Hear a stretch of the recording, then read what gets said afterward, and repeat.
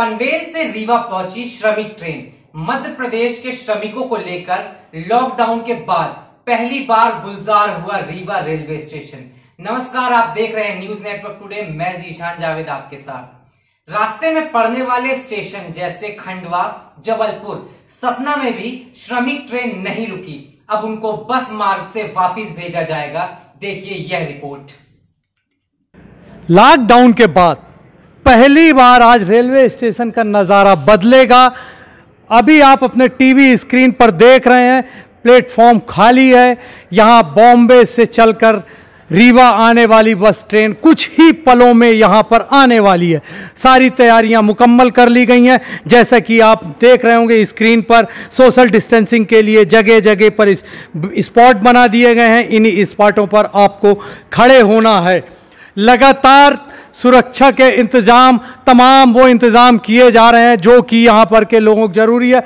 यहाँ पर अनाउंस करने के लिए अलग से एक साउंड सिस्टम लगाया गया है। हालाँकि रेलवे के पास साउंड सिस्टम अपना खुद का होता है, लेकिन आज यहाँ पर नए तरीके से रेलवे में, ने एक प्लेटफॉर्म के अंदर साउंड सिस्टम लगाया गया है, जो साउंड सिस्टम यहाँ से आने जाने वालों को अनाउंस करेगा।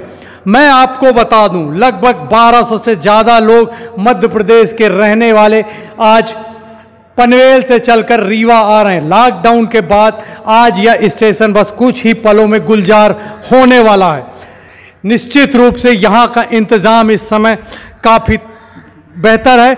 हर व्यक्ति अपने आप लगा हुआ है, आरटीओ विभाग हो, पुलिस विभाग हो, रेलवे विभाग हो, सब अपनी अपनी ज़िम्मेदारी महसूस कर रहे हैं और लगातार यहाँ पर अपनी अपनी व्यवस्था कर रहे हैं। मुंबई के अंतिम छोर पनवेल से चल रही मध्य प्रदेश वासियों को लेकर देर शाम रीवा पहुँची। इस ट्रेन में कितने लोग सवार थे कहाँ कहाँ के लोग सवार थे, इसकी जानकारी हम आपको ज़रूर देंगे। वह भी नगर पुलिस अधीक्षक शिवेन सिंह के द्वारा। आइए आपको सुनाते हैं नगर पुलिस अधीक्षक रीवा क्या कुछ बता रहे हैं इस ट्रेन में? मध्य प्रदेश के तमाम जिलों के लोग सवार हैं, जिसको लेकर रीवा के लोगों में भी सुबह से बेचैनी थी। जैसा कि आपको मालूम ही है कि पनवेल से कल रात्रि मध्य रात्रि में एक ट्रेन रीवा के लिए रवाना हुई है और इसमें कुल 1318 मजदूर आ रहे हैं, जिसमें सबसे ज़्यादा संख्या रीवा से है। रीवा से बताया गया कि उसमें रीवा ज़िले के रहने वाले 313 लोग हैं। इसके बाद जो है दूसरी संख्या जो सतना की है। सतना से एक सौ बयासी लोग हैं। सिंगरौली से एक सौ सीधी ज़िले से एक सौ अट्ठाईस लोग हैं। सिंगरौली से नवासी लोग हैं। इसके बाद पन्ना ज़िले से काफ़ी लोग हैं। करीब 114 लोग पन्ना ज़िले से हैं। फिर खंडवा से 112 लोग हैं। इसके अलावा आगर, मालवा, अनूपपुर, बालाघाट, बैतूल, भिंड, भोपाल, बुरहानपुर, छतरपुर, छिंदवाड़ा, दमोह, दतिया, देवास, धार डिंडौरी, ग्वालियर, हरदा, इंदौर, जबलपुर, कटनी, खंडवा, खरगोन, मंडला, मंदसौर, मुरैना, नरसिंहपुर, रायसेन, रतलाम, सिवनी, शहडोल, शिवपुरी और उमरिया जिलों के भी मजदूर हैं। सबका एक ही सवाल था, जब ट्रेन खंडवा, जबलपुर, सतना होकर रीवा आ रही है तो वहाँ के लोगों को वहीं क्यों नहीं उतारा गया? बस से भेजे जाने का क्या तुक था नगर वासियों में बेचैनी का यह आलम था वह कोरोना वायरस से संक्रमित लोगों की एंट्री या संदिग्धों की एंट्री शहर में नहीं चाहते थे। इसके लिए कुछ समाज सेवियों ने मास्क खरीदा और नगर पुलिस अधीक्षक तक पहुँचा दिया उन सभी के लिए जो ट्रेन से आ रहे थे। मास्क पहुँचाने वाले विजय निगम से हमने बात की। जैसे ही ज्ञात हुआ कि आज भोपाल से बॉम्बे से एक ट्रेन चलकर रीवा आ रही है, उसमें बहुत सारे श्रमिक हैं जो रीवा आ रहे हैं। तो चूँकि बॉम्बे रेड जोन का एरिया है और बॉम्बे के विषय में ये कहा जाता है कि अत्यंत प्रभावी क्षेत्र है कोरोना से तो उससे जो श्रमिक रीवा आ रहे हैं तो ऐसी उम्मीद की जाती है कि पूरे लोगों का परीक्षण करना उचित संभव नहीं हो पाएगा। इसलिए हमने एक ये पहल करते हुए सीएसपी साहब से बात करने के उपरांत ये निर्णय निकाला कि जितने लोग आ रहे हैं, उनको सबको एक एक मास्क दिया जाए, जिससे उम्मीद करते हैं कि जो वायरस 100 परसेंट फैल रहा है तो 70 परसेंट ही फैलेगा।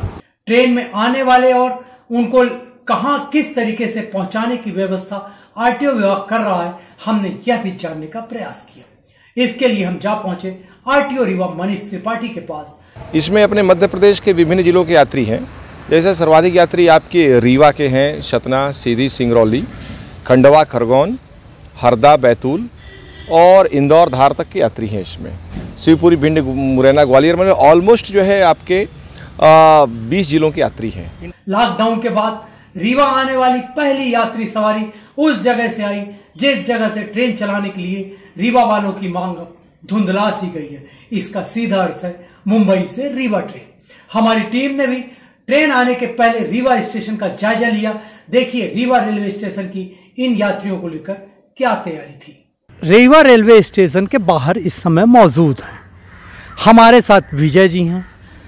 मैं आपको बताऊँ, पनवेल से चलकर रीवा आने वाली ट्रेन बस कुछ ही पलों में यहाँ पर पहुँच रही है। ट्रेन के आने के तमाम इंतज़ाम कर लिए। हम आपको वह दृश्य भी दिखाएँगे, लेकिन हम उसके पहले कुछ बारे में बातचीत करेंगे, आपको कुछ जानकारियाँ देंगे।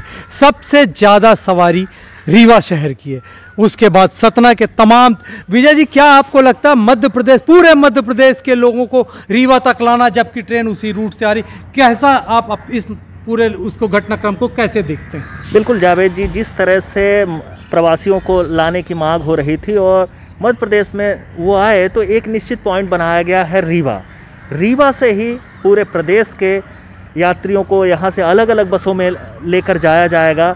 एक ख़ास बात जो यहाँ पर देखने को मिली, रेलवे प्रशासन ने ये इंतज़ाम जो किए थे, या तो कहें कि एक पुख्ता इंतज़ाम किया उन्होंने कि रेलवे के आखिरी पॉइंट, यानी कि मुंबई से चलकर रीवा रीवा के बाद यहाँ से कोई भी आगे रेलवे लाइन नहीं है, इसलिए ये स्टेशन को चुना गया। इस स्टेशन से मध्य प्रदेश के सभी ज़िलों के यात्रियों को बसों में भरकर भेजा जाएगा। उसमें अगर हम बात करें सतना की, सिंगरौली की, सीधी की, या फिर अगर मालवा जो कि भोपाल और इंदौर से काफ़ी नज़दीक था, वहाँ पर इटारसी की बात करें, अगर तो इटारसी इस ट्रेन के रूट में ही पड़ा, कटनी, मैहर लेकिन इन जगहों पर ट्रेन को नहीं रोका गया और रीवा लाया जा रहा है क्योंकि यहाँ से ही सभी यात्रियों की स्कैनिंग होगी यहाँ पर और फिर अलग अलग बसों में सवार करके उनको यहाँ से भेजा जाएगा। विजय जी, एक बड़ा सवाल, जैसा कि अभी आपने कहा कि रीवा लास्ट पॉइंट है, यहाँ पर सारे लोगों को लाना चाहिए, स्कैनिंग होगी। तो ये बताइए, जैसे ट्रेन पनवेल से चली, खंडवा होके निकलेगी अगर ट्रेन को खंडवा में रोक दिया जाता, खंडवा के सवारी वहीं पर उतार दी जाती, क्योंकि देखिए, इस समय रेलवे स्टेशन खाली है, रेलवे स्टेशन के अंदर ना कोई आ सकता है ना जा सकता। है पुलिस यह काम बखूबी कर सकती है, उसने रीवा में भी, जैसा कि हम लोगों ने देखा क्वारंटाइन एरिया में करके दिखाया।